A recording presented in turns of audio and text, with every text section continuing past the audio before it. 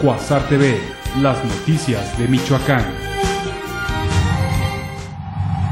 Jorge Carlos Ramírez Marín, titular de la Secretaría de Desarrollo Territorial y Urbano, resaltó en Morelia el trabajo coordinado que han realizado Jesús Reina García y Enrique Peña Nieto y exhortó a dejar de lado intereses personales y partidistas por el bien de Michoacán y México. Hoy, gobierno federal y gobierno estatal, nos damos la mano y trabajamos sin reservas para sacar adelante el compromiso de que en este estado de prosperidad se sitúen todas las regiones de México sin excepción.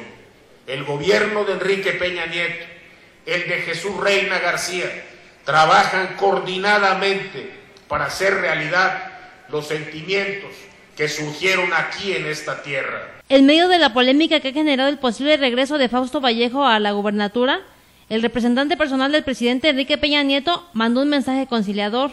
Para Cuasar TV, Sandra Sáenz.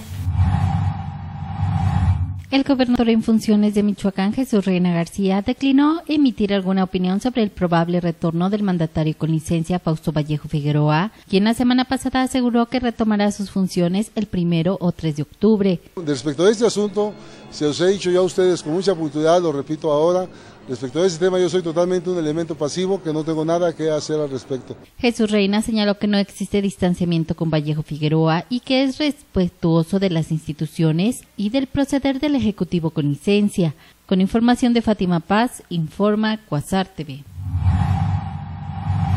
Los festejos por el 248 aniversario del natalicio de José María Morelos en Morelia iniciaron este lunes con el izamiento del lábaro patrio en la Plaza Melchor Ocampo encabezado por autoridades estatales, municipales y militares.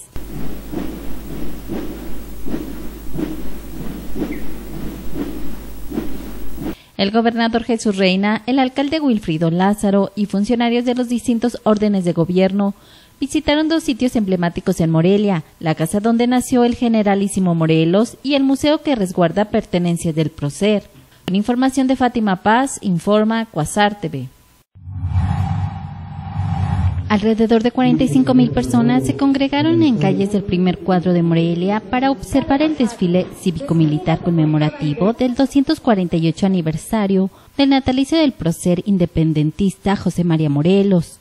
Mi general comandante de la primera zona militar, solicito autorización para que dé inicio el desfile cívico-militar conmemorativo del ducentésimo cuadragésimo octavo centenario aniversario del natalicio del generalísimo José María Morelos y Pavón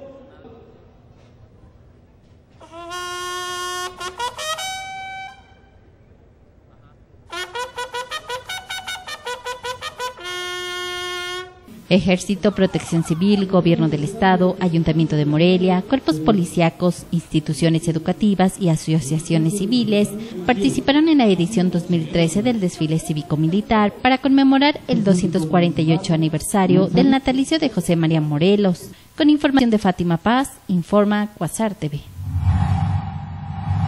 Un grupo de exbraceros de Michoacán intentaron impedir el desfile cívico-militar con motivo del 248 aniversario del natalicio de José María Morelos en Morelia para exigir al gobierno federal les pague adeudos que tienen con ellos desde hace décadas. Su dirigente Ventura González fue requerido por elementos de seguridad. El gobernador Jesús Reina dijo que no se trató de una detención. No fue una detención, ¿verdad? Lo que pasa es que estaban haciendo alguna actividad que impediría el desarrollo del desfile y lo que se hizo fue evitar que eso sucediera. Exmigrantes michoacanos agrupados en Bracero Proa demandan el pago de inmediato de su pensión de 38 mil pesos a cada exbracero que no se les ha otorgado mientras otros les han dado solo una parte. Con información de Fátima Paz, informa Cuasar TV. Indignación generó en Morelia, Michoacán, el operativo realizado por la Secretaría de Seguridad Pública Estatal para replegar a cientos de exbraceros que se manifestaban durante la ceremonia de conmemoración al 248 aniversario de José María Morelos y Pavón.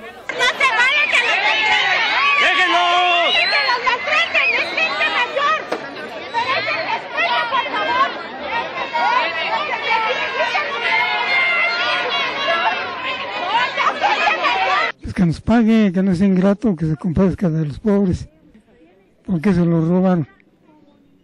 Pues ahora que él que nos pague, pues a ver, Los exbraceros de varios municipios llegaron a la ceremonia del 248 aniversario del natalicio de Morelos y dialogaron con el representante del presidente Enrique Peña Nieto, Jorge Carlos Ramírez, quien ofreció recibirlos en la Ciudad de México. Con información de Sandra Sáenz, informa Cuasar TV. Un accidente que sufrió Fausto Vallejo Mora, hijo mayor del gobernador con licencia Fausto Vallejo Figueroa, desató una polémica en redes sociales por lo que fue calificado como una exagerada movilización y el uso de un helicóptero de protección civil para trasladarlo a Vallejo Mora y a un amigo suyo. El accidente ocurrió sobre la antigua carretera Morelia-Pátzcuaro cuando el hijo de Fausto Vallejo Figueroa se accidentó en una cuatrimoto junto con tres personas más, lo que originó una movilización de dos ambulancias, una unidad de bomberos y un helicóptero. En la aeronave se trasladó a Vallejo Mora y a su amigo que al parecer tenía una lesión de clavícula.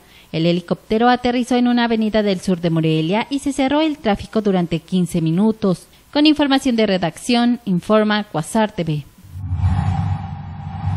Se dictó auto de forma prisión a uno de los presuntos responsables del homicidio del diputado Osvaldo Esquivel Lucatero, informó el encargado de despacho de la Procuraduría de Justicia de Michoacán, Marco Vinicio Aguilera. El legislador fue asesinado el 11 de septiembre en Morelia. Ya se le decretó formal prisión y ya ahorita iniciará lo que es técnicamente la situación del proceso penal, esperando que en sentencia le sea confirmada, en este caso, la determinación de la formal prisión. Aguilera Garibay dijo que continúa la búsqueda de los otros tres presuntos implicados en el crimen del legislador perredista. Con información de Fátima Paz, informa Cuasar TV. La identidad de tres cabezas humanas encontradas el pasado jueves en Los Reyes, Michoacán, ha sido establecida aunque aún no se recuperan los cuerpos, por lo que las investigaciones continúan, explicó Marco Vinicio Aguilera Garibay, encargado de despacho de la Procuraduría General de Justicia del Estado. Estamos recabando las declaraciones de algunos familiares, los cuales no están aquí en el estado ya de Michoacán, eh, salieron de aquí. Datos preliminares dejan entrever que los fallecidos esperaban reunirse con otras personas, de las cuales no se tiene mayor información. Con información de Fátima Paz, informa Cuasar TV. Michoacán será el primer estado donde se reubiquen familias que habitan zonas de alto riesgo, anunció en Morelia Jorge Carlos Ramírez Marín, secretario de Desarrollo Territorial y Urbano, quien dijo que también serán reconstruidas 800 viviendas que fueron destruidas por los remanentes de Manuel. Aquí van a reconstruirse alrededor de 800 casas que fueron pérdida total y vamos a iniciar también la fase de reubicación. Les puedo adelantar que Michoacán va a ser uno de los estados donde primero se realicen estos trabajos de reubicación en el país y comenzaremos en el municipio de Lázaro Cárdenas. Informó que ya se realizan los peritajes correspondientes para proceder contra quienes tengan alguna responsabilidad en la creación de asentamientos irregulares donde se registraron pérdidas humanas o daños materiales. Para Cuasar TV, Sandra Sáenz. Alrededor de 100 millones de pesos se requieren para la reparación de caminos y puentes dañados por el paso de la tormenta tropical Manuel en Michoacán, informó Francisco González Ochoa, director de la Junta de Caminos. Son aproximadamente unos 30, pero hay entre caminos y puentes, alcantarillas, y aproximadamente son como 100 millones de pesos. El 80% de esta suma provendrá del Fondo para Desastres Naturales, y el resto será recursos estatales. Con información de Fátima Paz, informa Cuasar TV.